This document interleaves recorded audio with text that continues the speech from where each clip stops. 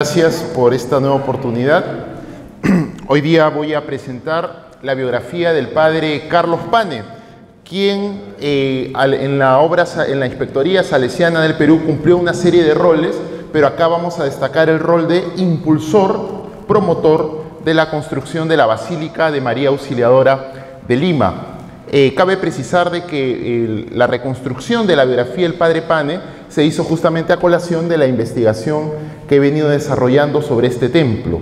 Entonces, inicialmente no incursioné con la intención de reconstruir su biografía, pero en el estudio de la génesis del templo, obviamente, fue aflorando la importancia que tuvo este sacerdote salesiano en eh, la, consolidación del proyecto, su ejecución y su, eh, finalmente, eh, bueno, conclusión hacia 1921-1924. Eh, el padre Pane nace en 1856 eh, en Grana, en la provincia de Alejandría, en el Piamonte. Este dato de su localidad natal, inclusive el nombre de sus padres, lo sabemos por, el testamento del padre Pane que se custodia en el archivo del economato de los salesianos del Perú. Entonces ahí inclusive se señala, eh, bueno, quiénes fueron sus padres, don Esteban Pane, su madre, doña Ana Coca, y eh, nos permite, digamos, eh, reconstruir al menos este dato importante de los orígenes de su, de su biografía. Eh, después, a partir de otras fuentes como el obituario que se publica en el Pan del Alma de Lima y en la propia Carta Mortoria, sabemos de que en 1871 ingresa al Oratorio Salesiano en Turín, donde conoce a Don Bosco, e inicia todo ahí un recorrido hasta finalmente eh, hacerse sacerdote salesiano en 1879. Eh, ahí tenemos justamente eh, su trayectoria vital dividida en, bueno, podría decirse tres espacios geográficos, ¿no? Lo que está marcado en verde son los años que él vive en Italia, lo que está marcado en amarillo es el periodo que él está en España y el periodo en rojo es el periodo que él, está en el, en el Perú. Entonces, él en 1881 es destinado a fundar la Casa Salesiana de Utrera en España, que es la primera casa salesiana ahí. De hecho, este dato que lo señala su carta mortuoria está confirmado por la bibliografía existente. ¿no?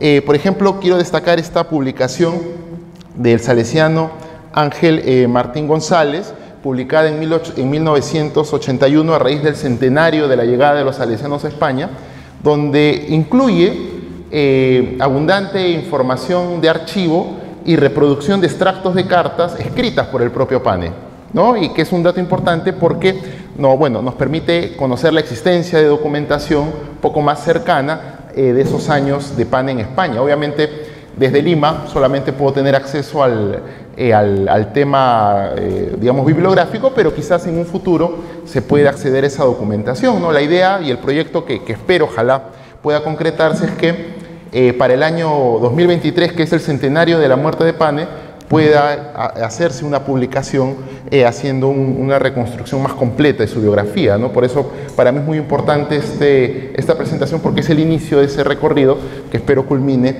en ese, trabajo eh, proyectado. ¿no? Por ejemplo, acá es un extracto de una carta del padre Pane a, a Juan Caliero, donde él le solicita información sobre cómo se origina la presencia en España de los salesianos, ¿no? o sea, quién, quién es el que pide eh, la, llegada de los salesianos eh, y cómo se planifica, o sea, documentación. Ya desde acá vemos un interés de PANE por el tema de documentar, documentar que después en el Perú se va a ver plasmado con la fundación de este semanario El Pan del Alma, que tendrá como fin registrar los eventos que estaban eh, desarrollando los salesianos en el Perú.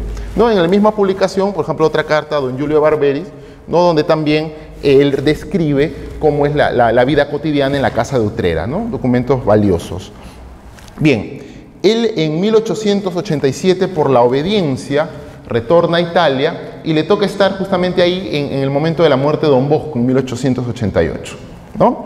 Y ya en 1891, Don Rúa eh, organiza la primera eh, expedición misionera al Perú. Y incluye, e incluye a Pane ahí porque, bueno, la experiencia que había tenido en España, el conocimiento del idioma, evidentemente lo hacía un salesiano que cumplía con los requisitos para poder cumplir este rol. Obviamente a él no lo envía de director, a quien pone de director de la obra es al padre Antonio Ricardi, quien había sido por años secretario de, Monseñor Caliero en la Patagonia. Inclusive él señala de que antes de, de llegar a la Patagonia ya trabajaba con Caliero. ¿no? Entonces, esta experiencia también aquí hacía a Ricardo una persona con el conocimiento del idioma que tranquilamente podía cumplir bien el rol en el Perú. Entonces, a partir de las cartas que escribe Pane en Panamá y, llegando a Lima y las propias cartas de Ricardi, se puede reconstruir un poco el itinerario de este viaje. ¿no? Eh, él señala que son, despedidos en, en, la Basílica María Auxiliadora de Turín el 16 de agosto de 1891 y de ahí parten en tren a París. ¿no? Ahí están unos días, de ahí salen a Londres, señala que el, trayecto de cruzar el Canal de la Mancha fue terrible, y eso que ni siquiera cruzaban el Atlántico todavía, ¿no? Dice que le, afectó bastante la salud, de ahí en rumba a Liverpool, y de Liverpool ya eh, toma el transatlántico hacia el puerto de Colón en Panamá. Crucelismo, ¿no? Por tierra, no, él solo obviamente no, está con los otros dos salesianos que integran la delegación que son eh, don Guido Terzuolo y el, este, y el coadjutor eh, Juan Scholli, ¿no? y además de las nueve hermanas, ¿no? de las hijas de María Auxiliadora, que en verdad ellas eran las principales este, destinatarias de la misión. Los salesianos solo iban como capellanes de ellas. ¿no? Eh, así es como llegan los salesianos al Perú. Bien, entonces en Panamá se enrumban a Guayaquil, donde hacen una pequeña parada, y después al Callao. Ahora, este tema de Guayaquil, poco lo cuenta en las cartas, ¿no? Él dice terrible porque eh, justamente cuando llegamos a Guayaquil había una epidemia de fiebre amarilla y como embarcan fruta en el barco, entonces llegando al Callao los ponen en cuarentena. ¿no? Entonces todo un tema eh, que al final se logra salvar porque, bueno, eh, les dan la autorización para que desembarquen. ¿no? Entonces este recorrido, bueno, está, como les digo, en las cartas que escribe Pane, tanto en el puerto de Colón a Don Rúa como ya llegando a Lima. Y también algo de del propio epistolario del padre Ricardo. Bien, esta es una de las primeras fotos de la, eh, que, se conservan en el archivo de Lima, una de las fotos más tempranas de eh, los salesianos en, mi ciudad. ¿no? Ahí tenemos al centro al padre Ricardi, el director, junto con los niños del Oratorio San Francisco de Sales, que se funda en el RIMAC, el 8 de diciembre de 1891. ¿no? Y Pane era parte de la comunidad religiosa, lo tenemos ahí un poco alejado en la esquina, ¿no? Casi no, sale en el encuadre de la foto, ¿no? pero eh, sin duda ya desde los primeros momentos va a destacar como un salesiano muy importante en esta, en esta obra. Un poco para explicar brevemente el contexto, ¿no?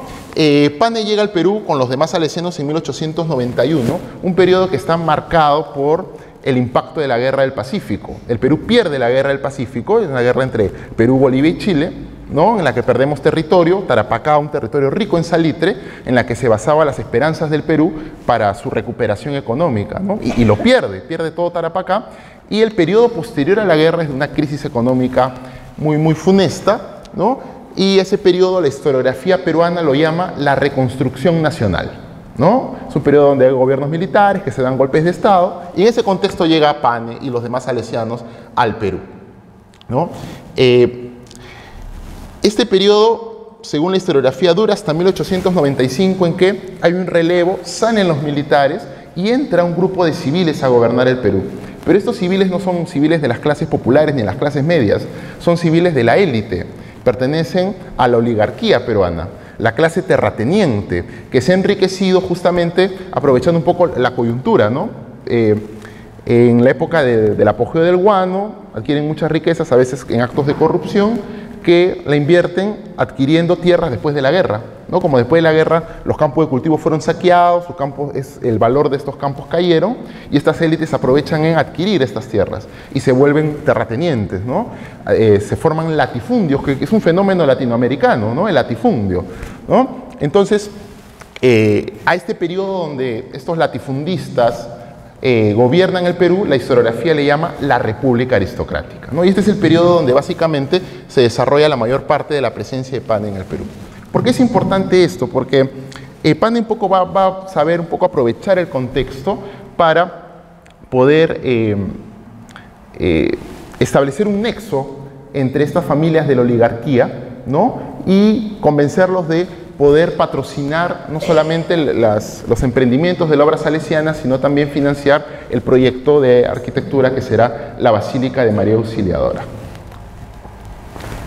Esta es una foto de eh, Pane en sus primeros años en el Perú, ¿no? y como les decía, Pane pues llega en, este contexto muy particular, ¿no? que como, les, como se ha podido intuir en otras exposiciones, es muy común a Latinoamérica, ¿no? las élites que temen la, radicalización del, del, sector, de los sectores populares. ¿no? Está el temor del, marxismo, del anarquismo, y ven que la educación religiosa es una buena manera de alejar a estos sectores populares de esas ideas radicales. ¿no? Entonces, por eso es que eh, eh, muchos de estos personajes de la oligarquía que están en la Sociedad de, la, de Beneficencia Pública de Lima son los que solicitan la llegada de los salesianos al Perú. ¿no? Entonces, Pane llega, pero digamos, lejos de convertirse simplemente en un instrumento de, los, de las necesidades de la oligarquía, sabe situarse muy bien para aprovechar esa preocupación de la oligarquía ¿no? en conseguir apoyo a los proyectos que él emprende. Eh, en el RIMAC, los salesianos primero fundan un oratorio, ¿no? y después, a los dos años, se crea una escuela de artes y oficios, cuya foto tenemos ahí. ¿no? Esta es la Escuela de Arte y Oficios del RIMAC, la primera que crean los salesianos en el Perú. Ese es el taller de carpintería. ¿no? Y ahí Pane va a estar presente como miembro de la comunidad religiosa. Esta es una foto de 1896 de los alumnos de la Escuela de Artes y Oficios, ¿no? los que integraban la banda. Al centro está el padre Ricardi, no sale Pane en la foto, pero eh, sale un personaje que de algún modo refleja el impacto de Pane en esta comunidad. Eh, hay un niño está, está eh, un instrumento, ¿no? Este niño es Octavio Ortiz. ¿Y quién es Octavio Ortiz? Que, que, que después fue el primer salesiano peruano, obispo de Chachapoyas, y que hoy es el salesiano peruano más cerca a los altares, es venerable de la Iglesia Católica, ¿no? Y los biógrafos del padre Ortiz, tanto el padre Eugenio Pegnati como el padre Jorge Catarama, ambos coinciden en que fue Pane el que logra el ingreso de Octavio Ortiz como, eh, eh, como alumno interno en la Escuela de Artes y Oficios. Inicialmente se hizo una selección, no estuvo Ortiz en, entre los seleccionados y eh, Pane logra, porque ve, ve en él un, un, un vocacionable y lo logra integrar a la Escuela de Artes y Oficios y después desarrolla, acompaña esa vocación temprana y termina después Ortiz ingresando al noviciado, siempre de la mano del padre Pan. Entonces, esta vocación tan importante para los salesianos del Perú muy probablemente no hubiera podido desarrollarse de la manera en que se hizo sin el, el, tino y la lucidez del padre Pane para poder conducir correctamente a, a Ortiz. Entonces, en esa foto no está Pane, pero la presencia de Ortiz nos indica el rol que ya cumplía en esa comunidad. Bien, de esta etapa temprana también tenemos cartas ¿no? que se conservan en el archivo de Lima, donde, bueno, él describe temas interesantes de, la vida en comunidad, pero también refleja pues, cierto, cierto sentido del humor un poco, ¿no? Eh, por parte por la confianza que tenía con, el destinatario, ¿no? Por ejemplo, acá hay un párrafo donde él mismo eh, se describe a sí mismo con cierta eh, autocompasión, pero en clave de, broma, ¿no? Dice, este, algún rincón me mandarán, un cajón viejo haciendo referencia a él puede estar echado en cualquier parte, ¿no? Con tal de que Dios me guarde eh, un rinconcito en el cielo, ¿no? Eh, bueno, obviamente es un, es un sentido de autocompasión, pero obviamente en, en, un poco en, clave de broma, ¿no? Esta es este, otra carta, también eh, dirigida a Julio Barberi, ¿no? Donde hace referencia a su director, el padre Ricardi, ¿no? Y dice, como director don Ricardi no anima, sino que resfriga, ¿no? Eh, bueno, eh, una especie de crítica ahí velada, pero digamos también ahí en, clave de, de, humor, ¿no?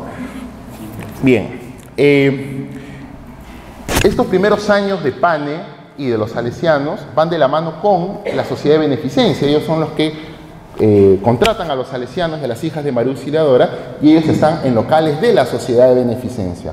Sin embargo, entre 1891 y el 97 la relación se complica bastante, la relación se vuelve difícil y ellos al final terminan el contrato, se desahucia y existe en estos años iniciales el riesgo de que la misión salesiana en el Perú fracase. Fracase porque las relaciones con la beneficencia son malas y está el problema latente de la falta de personal. ¿no? Son numerosas las cartas de don Ricardi solicitando a don Rúa que envíe más salesianos al Perú.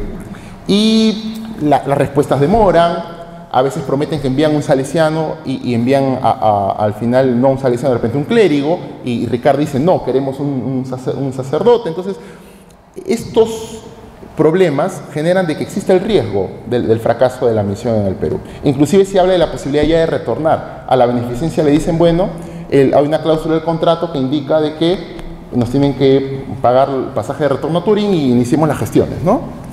¿Qué salva la misión salesiana al Perú? Eh, cosas curiosas, ¿no? entra el gobierno de Eloy Alfaro al Ecuador y expulsa a los salesianos del Ecuador. ¿Y a dónde se van en su mayoría? Al Perú. Entonces, este, esta nota, que es, digamos, sombría para la presencia salesiana en el Perú, termina salvando la misión salesiana en Lima, ¿no? Entonces, llega una oleada de salesianos que refrescan. Pasó lo mismo en China. Dejaron a China, se fueron a Filipinas. Ah, entonces ahí se funda la Casa de Arequipa, se fundan en fin una serie de casas en el Perú, ¿no? Y además los salesianos reciben una herencia. ¿Qué había pasado? Monseñor Teodoro del Valle, antes de morir, eh, y cuando todavía vivía Don Bosco, él dejó en una cláusula, dejo parte de mi fortuna para que los salesianos y el propio Don Bosco, si es posible, se instalen en Lima, dice, ¿no? Y deja una parte concreta, ¿no? Una cantidad determinada, importante, ¿no? Y dice, si hace falta, autorizo incluso que se vendan mis propiedades para compensar lo que sea necesario, ¿no? Entonces está la cláusula testamental y, bueno, los salesianos llegan con la intención, bueno, de, de hacer efectiva la cláusula, ¿no? pero los, algunos sobrinos de Monseñor eh, interponen algunos elementos judiciales, dicen, no, yo soy el, heredero legítimo, demora un poco, pero hacia 1897 se logra que los salesianos puedan hacer efectiva la cláusula y con ese dinero adquieren eh, una parte importante de la hacienda breña, ¿no? Ya, ya, acelera entonces. Y bueno, en ese entonces Breña era una región que estaba fuera de Lima prácticamente, hasta acá llegado a la ciudad y acá queda la, propiedad de los salesianos, está, está fuera, está en, los linderos de la ciudad, ¿no? Y es ahí donde los salesianos, después que se desahucia el contrato, mudan toda la obra que tenían en el RIMAC, ¿no? En 1898, Ricardi regresa a Italia, por temas bueno, que en las fuentes no se explican, inclusive Pan en algunas cartas dice, parece que van a nombrar a Ricardi inspector, pero al final no se da el nombramiento, él regresa a, Italia y Pane asume como director de la Casa de Breña, director que incluía el, oratorio y la Escuela de Artes y Oficios. Y estos años de Pane en Breña son muy fructíferos porque, por ejemplo, es el que, culmina la construcción del primer local propio de los salesianos en Breña, que es este edificio que ya no existe, se fue demoliendo poco a poco a lo largo del siglo XX, que estaba constituido por tres pabellones paralelos con un frontis. Acá hay una vista un poco eh, plano de la propiedad, este es el colegio, el pabellón para el frontis, ¿no? Eh, y, la construcción se hace durante el, periodo de Pane, ¿no? Y él también va a construir dentro del mismo edificio el primer templo dedicado a María Auxiliadora en el Perú, que era una capilla, ¿no? Era una capilla modesta, construida, señalan las fuentes, por los mismos alumnos de la Escuela de Artes y Oficios, ¿no? El, el retablo, sí, muy trabajado, eh, era un retablo de una iglesia colonial que los lazaristas dijeron, bueno, no nos sirve, lo vamos a votar, lo quieren ustedes, y Pane dice, ya yo lo compro, y lo lleva a Breña. ¿no? Y ahora, hay, una especie de, golpe de suerte. Esta zona periférica de la ciudad, hacia 1898, 99 y inicios del siglo XX, comienza a ser urbanizada para familias de la oligarquía. Se forma el famoso barrio de Paseo Colón, que eh, digamos, es lo más parecido que existe en Lima al trazado eh, inspirado en la reforma del barón Haussmann en, París, ¿no? Calles anchas, alamedas, ¿no?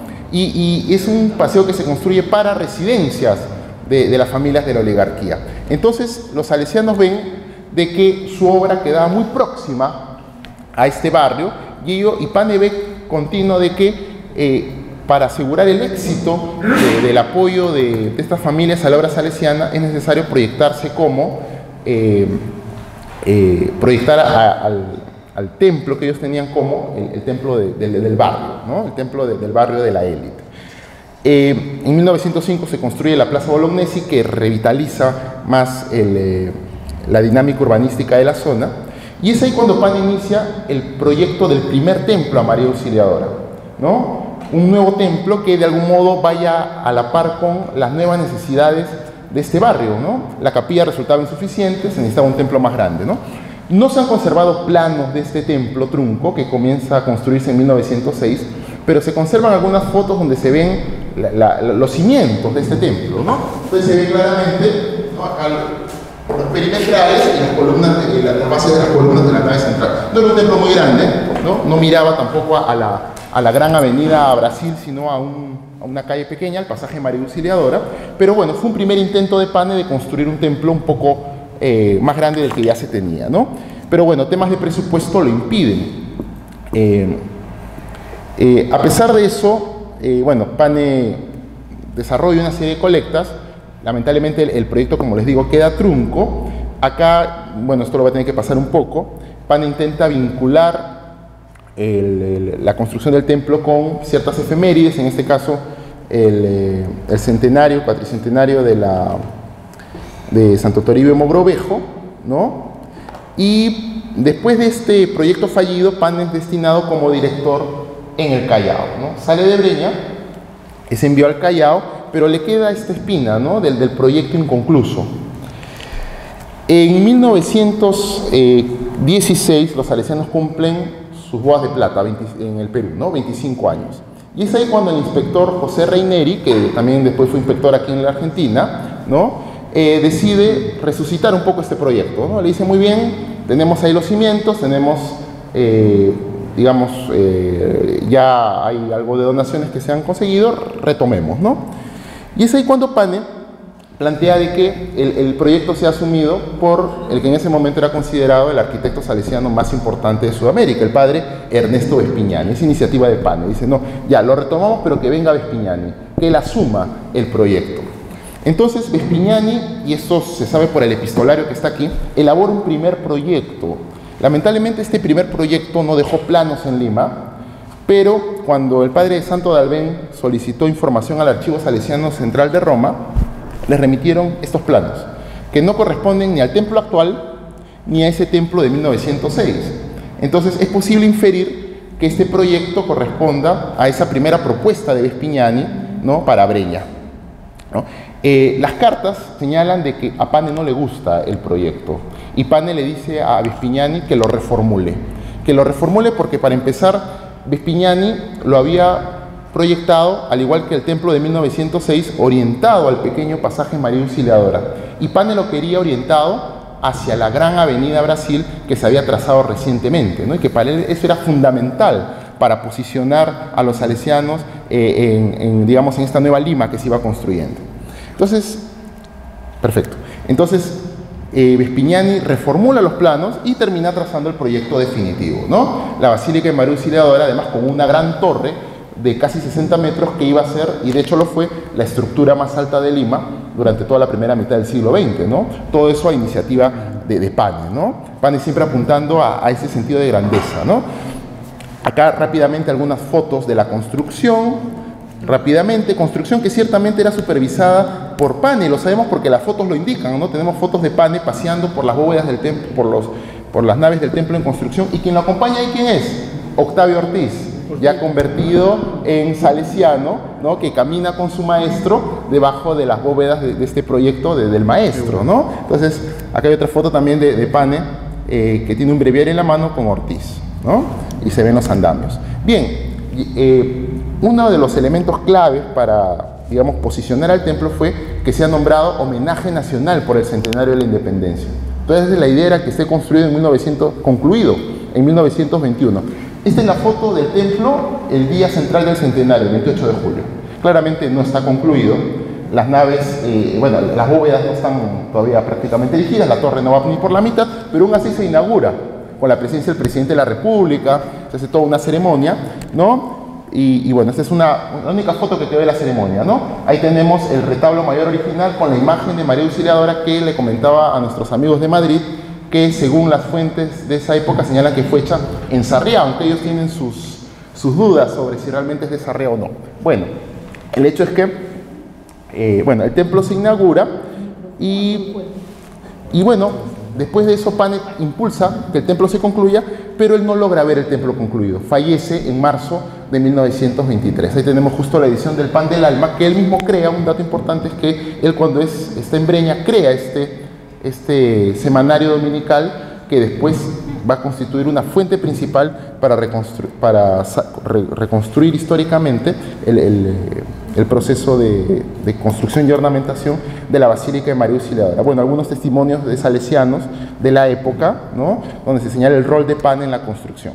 Bien, el templo se concluye en el año 24, cuando Pane ya ha fallecido, pero la gratitud a Pane está. Entonces, cuando en el año 25 se colocan las campanas del templo, una de las campanas se le pone San Carlos Borromeo, en memoria del padre Pane, y él lo dice claramente, ¿no? Ahí está en latín, pero la traducción en español dice, ¿no? San Carlos Borromeo, alegre tocaré a la memoria del padre Carlos Pane Salesiano, que pidiendo limosna colectó el primer dinero para edificar este templo, ¿no? Eh, en el año 41, cuando se cumple el cincuentenario de la presencia salesiana en el Perú, eh, sus alumnos le, le, le, hacen un homenaje. Entonces trasladan sus restos que estaban en el cementerio de Lima y lo entierran en la cripta de la Basílica de María Auxiliadora. Entonces Pan es el único, eh, la única persona enterrada en la cripta. Y ahí tenemos a el, el, el, féretro de Pane y quien preside la ceremonia es quien, Monseñor Octavio Ortiz, ¿no? ya digamos, ya muchos más años encima, ¿no? que eh, hace este tributo final a, a, quien gestó su vocación. Ya está la lápida Mortore Pane, ¿no? Carlos Pane, con tesonera actividad, paciente, humildad y santidad de vida, inició a unos medios, impulsó hasta la muerte la construcción de este templo, año 41. A partir de ahí, como que la memoria de Pane comienza a, esfumarse, en el sentido de que quienes mantenían viva su memoria eran sus, sus antiguos alumnos de la Escuela de Artes y Oficios, los salesianos que habían vivido con él. Sin embargo, para, por ejemplo, las conmemoraciones de los 75 años de los salesianos, de la llegada de los salesianos al Perú en el año 66, en la documentación impresa de, de vocación histórica prácticamente ni se menciona Pane. Y cuando se publican los textos del año 91, del centenario, también Pane está en un rol muy secundario frente a la, a la figura de Ricardi como primer director. Bien, eh, y esta investigación pretende justamente un poco eh, recuperar su figura. Conclusiones. ¿Por qué el padre Pane puede ser una figura salesiana innovadora y significativa? ¿Por qué es significativa? Por los roles que asumió, ¿no? En España y en el Perú como fundador, en el caso de Lima como principal animador de la vocación de Octavio Ortiz, ¿no? creador del Colegio Salesiano de Lima, también fundador de este importante órgano, el Pan del Alma, que se edita de 1904 hasta la fecha de forma ininterrumpida, y promotor de la construcción de la Basílica de María Auxiliadora de Lima. E innovador por su proyecto de posicionamiento de los salesianos en Lima a través de este sentido de la grandeza, ¿no? a través de la infraestructura y la memoria. Bien, muchas gracias.